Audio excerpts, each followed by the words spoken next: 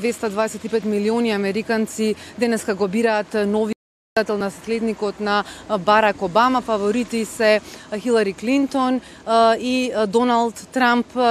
Секако дека освен во Америка имаат право на глас и сите оние американци кои што се низ светот, сите очи се вперени кон овие избори, се чекаат резултатите.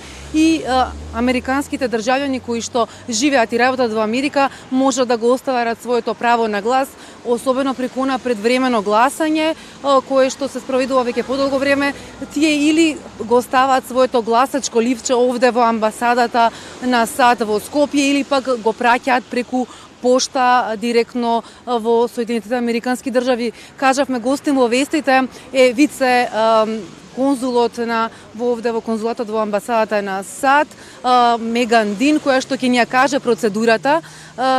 Good afternoon. Good Welcome afternoon. to the news of uh, Television Nova. Uh, we like to hear how many American citizens here in Macedonia во gave their vote. А, Македонија uh, гласа и дали оваа процедура, како тече оваа процедура до сега во ред?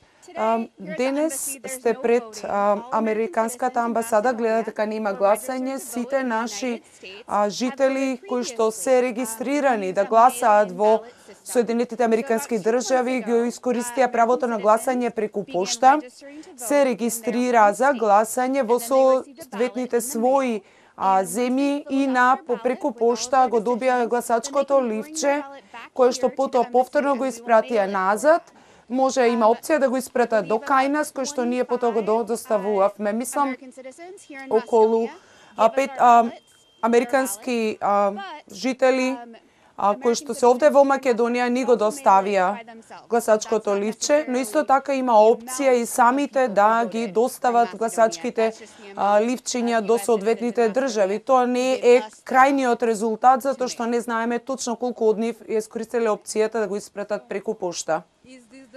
Дали ова е процедура за секој од за сите избори кои што ги организирате или постои опција за поголеми и помали кој е бројката во зависност од досега до сега организираните избори.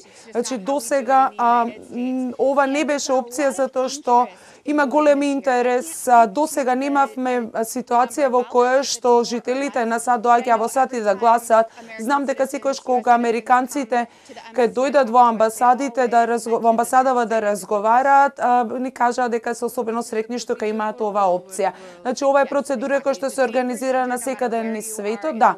Секаде во светот без разлика каде што сте, освен ако сте во САД, каде што може да гласате на локалните